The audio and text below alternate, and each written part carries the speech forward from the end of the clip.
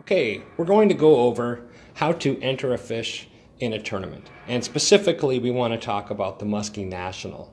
Uh, right here, as soon as you log on to your account, as soon as you open the FishDonkey app, you'll see all the tournaments that you've registered for.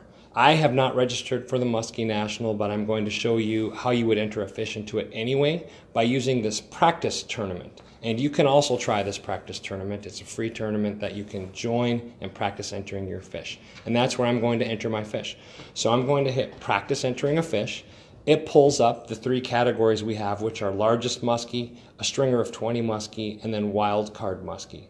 Uh, what each of these, the way these columns work, these are your leaderboards. Every time you enter a fish, it's going to track them in order from largest to smallest, and that's the largest muskie category. Every fish will be in there from largest to smallest, and you can look at everybody's fish.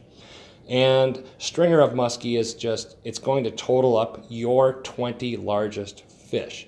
So if you if you caught 75 fish and you entered them all, it's going to automatically call, it's going to select your 20 largest and it's going to total them up to make one total numerical value. And then it's going to sort those uh, from highest to lowest by contestant. And finally, wild card muskie. What that is, we have every fish entered into this category. It's in no particular order, just whatever order it was entered. And at the end of the contest, a winner will be selected at random from that category. And so those are your categories largest, stringer, and wildcard. Now, if you wanted to see more information on your tournament, you can click the I button up at the top. It'll pull up. You can see your tournament overview. Uh, you can see rules and regulations and the prize categories. There's a lot of information in there. You can see your sponsors in the actual Musky National. There will be sponsors listed here, a list of the prizes, and then also photos of the tournament.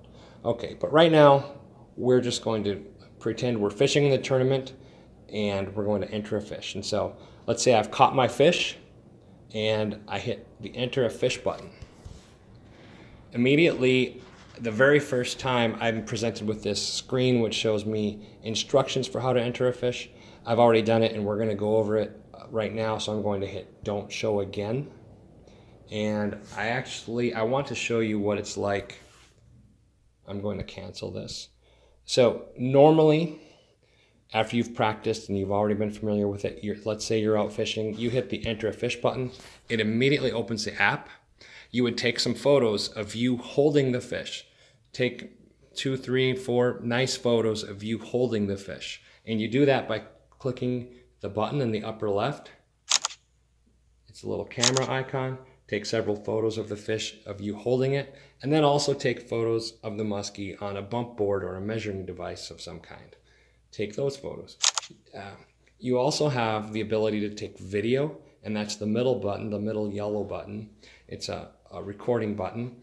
Take that, and you can take 30 second clips of, of your fish. You could also uh, take a video of it on the measuring board, or what we want you to do in the Musky National is turn on the video camera, uh, your photographer starts the recording, and then you release the fish and show that you've successfully uh, released it and it swam away back into the waters and was released.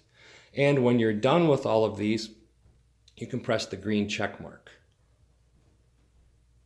And it'll bring you back to a summary of, of all your photos. If you would like to select or deselect any of them, uh, it'll automatically select the first five you've taken. Uh, you can add more or take them away. I'm just going to just send in this one, but you should, you know, send them all in. If you wanted to add more photos, if you haven't released the fish yet, you can hit add and you can add more photos. And you'll choose the species off the list, which is muskie. You'll enter the length and let's enter a 47 inch muskie. And then you hit submit. It's that, that means that the fish has been accepted. We can already see it on the leaderboard because I'm on a fast connection. Um, after the meeting, that indicates that I am the new leader on the leaderboard. Everybody in the tournament will receive a notification when there's a new leader. So you won't get a notification every time a fish is caught, but you will get a notification when there's a new leader on the leaderboard. And for a summer long contest, that's also kind of fun. And so I'll just go over that again just quickly because it is actually an easy process. Just hit enter a fish, hit the camera icon, take several photos of you holding the fish and on the measuring board, and then also take a video of you releasing the fish and then hit the check mark. Review your photos. Choose the species and this time let's just say it was a 42 and hit submit. Got one. It's that easy. All right, so just a little bit more information here. Uh, if you want to refresh your screen, you can slide down. That's just an, uh, a common um, thing you can do on iPhones and Android phones. You can slide down and refresh screens. Um, the other thing you can do is if you click on the little fish button up here, you can see all of the fish that you have entered. And uh, if you're in an area where there's a bad internet connection, you can still use this app. You can submit fish. And if they don't go through, when you do get back into a better area or when you get on Wi Fi, uh, then the fish will go through.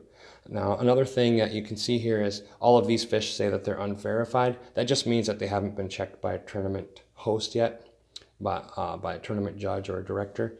But if you wanted to look at them, all you need to do is click on it and you can view someone else's photos. Now, if you're on a slow internet connection, you're you out in the lake, you probably don't even want to see the videos and the photos because it can take some time. These are full high definition uh, photos. And as you can see, you can just zoom way in and see all kinds of detail in there. You can verify the length of uh, the other participants' fish and get a good look at them.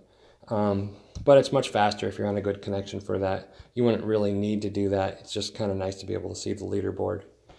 And and uh, that's it. It's that's that's all there is to entering a fish.